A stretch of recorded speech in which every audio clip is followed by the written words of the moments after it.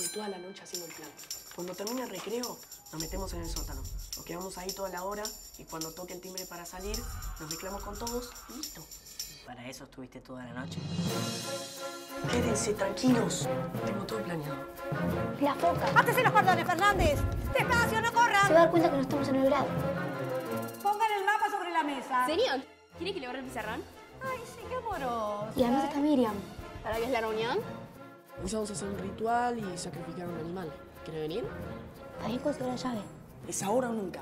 Al sótano.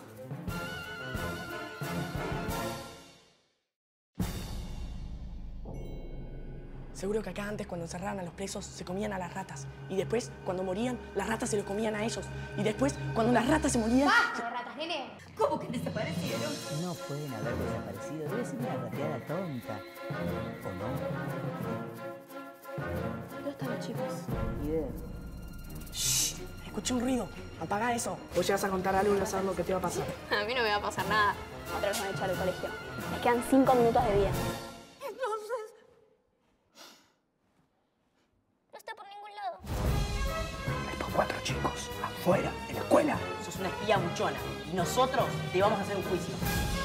Me gusta Fabián. ¿qué, Fabián? ¡Esa!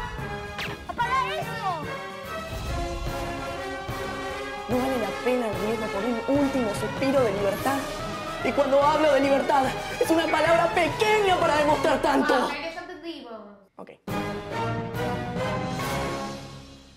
Miren esto.